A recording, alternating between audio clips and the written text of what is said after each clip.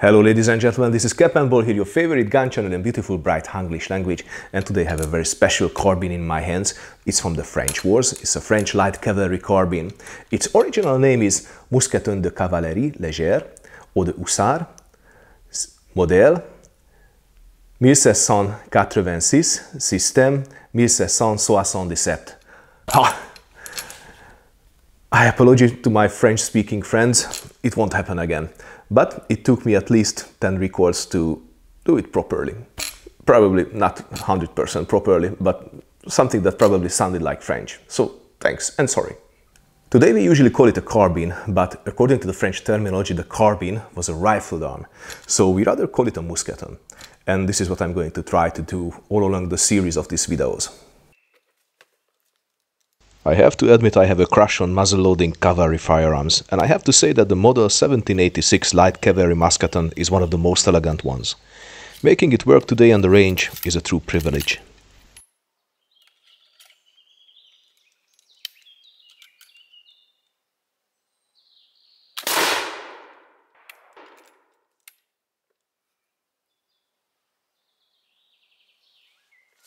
This is actually a three-part series. The first part is already online. It's about the cartridges of the model 1777 firearms family. The second part, where we are now, is dealing about how these guns were manufactured, was a real deal of the 1777 firearms family. And the third part will be dealing with the history of this exact carbine, Mousqueton. But before we continue, let me thank you for your support. You make this channel rolling, which I'm very grateful for. So if you think there is value in what I do, then please support us through patreon.com slash capandball. That's a really good help for us. Here you can find exclusive content also from me. We are also present on the History of Weapons and War platform, which is a perfect place for all the gun nuts like us. It is ad-free and it is uh, providing many thousands of uh, videos about firearms related content, all coming from the best educational channels on YouTube. Please like, comment, share, switch on notifications to help the channel grow. The Model 1777 firearms family was not developed in one day. In fact, the reform process started at the beginning of the 18th century. In 1717, the first standardized musket of the French army, the Standing Army, was developed.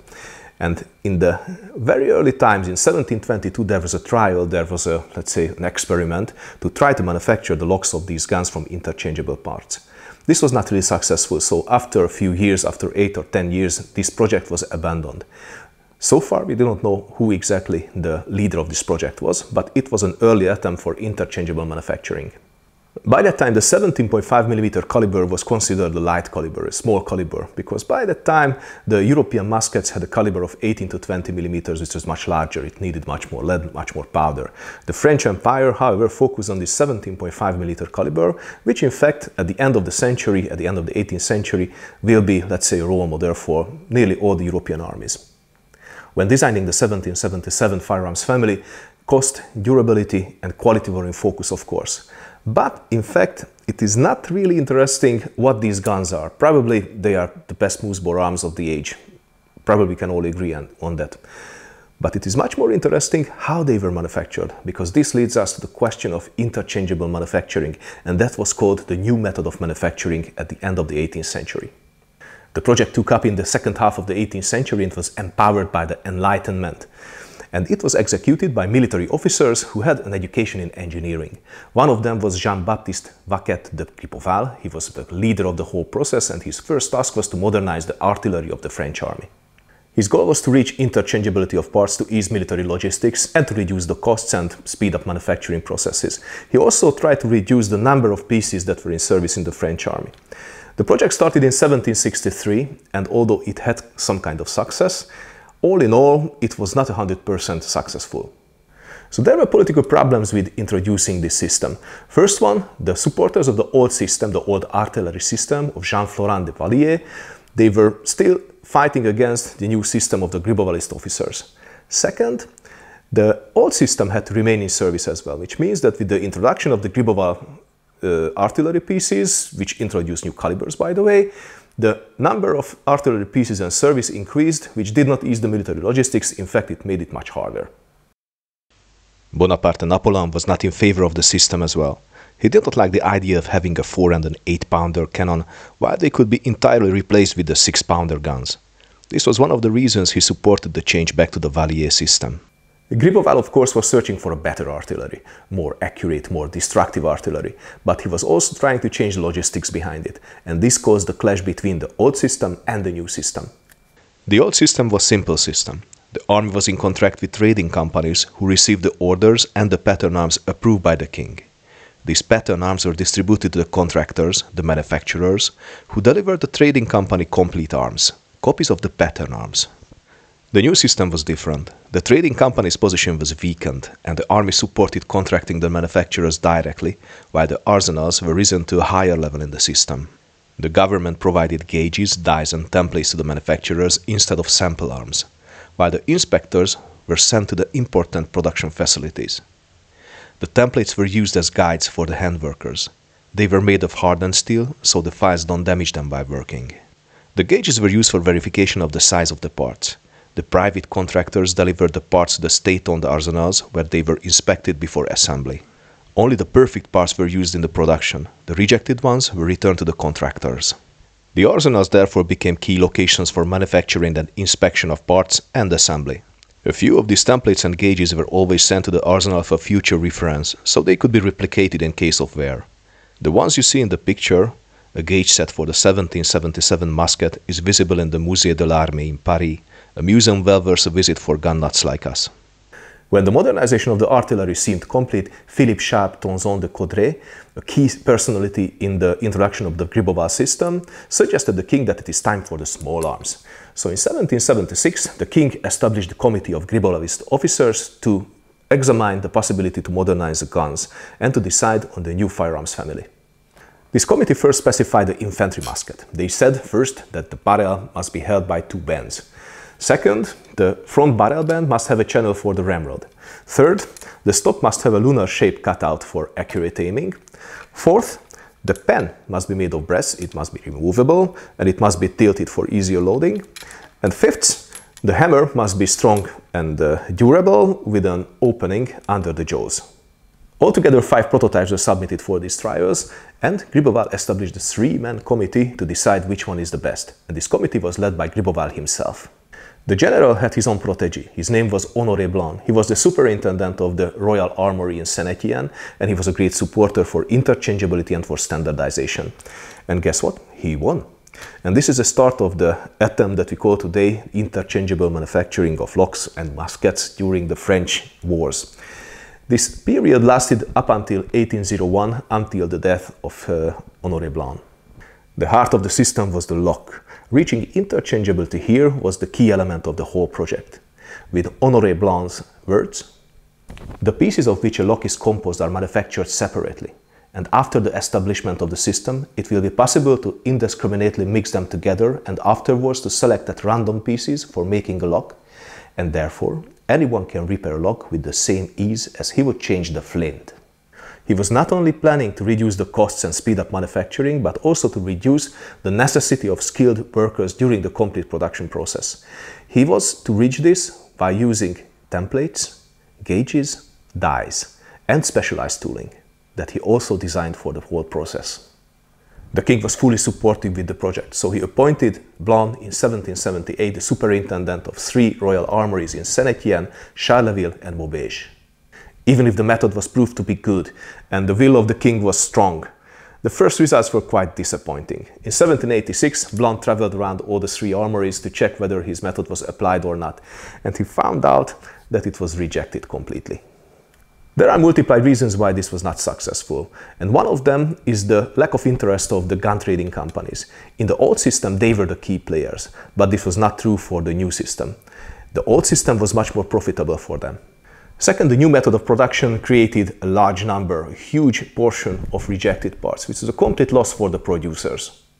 Third, the templates and the dies that secured interchangeability, they wore out, which means that they had to be replaced quite often. And that increased the costs also. After returning from this trip, he suggested the king to establish a sample factory at the castle of Vincennes to produce interchangeable locks, but also to produce the tooling, which means that the ties, templates and gauges and also the specialized tools that were necessary for making all parts interchangeable. The king supported this idea, so this factory was established and they started the production. But as the politics were changing, so decreased his support.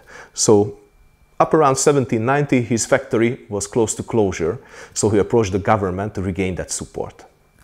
So upon the request of the government, the French National Academy of Sciences established a three-man commission that visited the factory at Vincennes, and what they saw was fully satisfying. So they were very happy about what they saw there.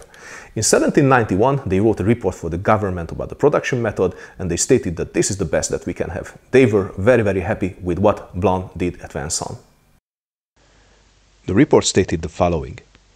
We conclude in consequence that the means of execution employed by Monsieur Blanc for the manufacture of firearms of the sort that have their locks all formed of parts which are exactly like all others of their kind, and therefore calculated to be substituted one for another, are very well designed and thought out, and their results are confirmed by experience, and that is very desirable that we make all our arms by these means, which in short deserve the praise and approval of the Academy.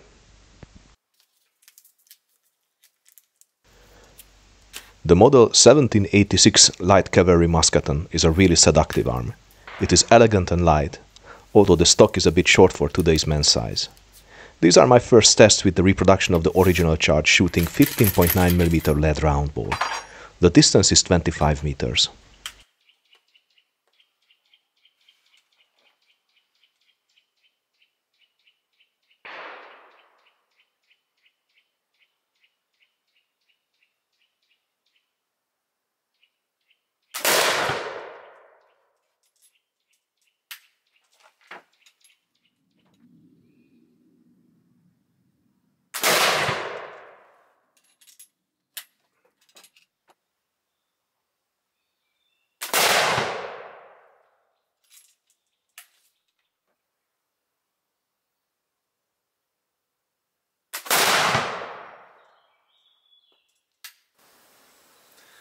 And that is 25 meters from the rest.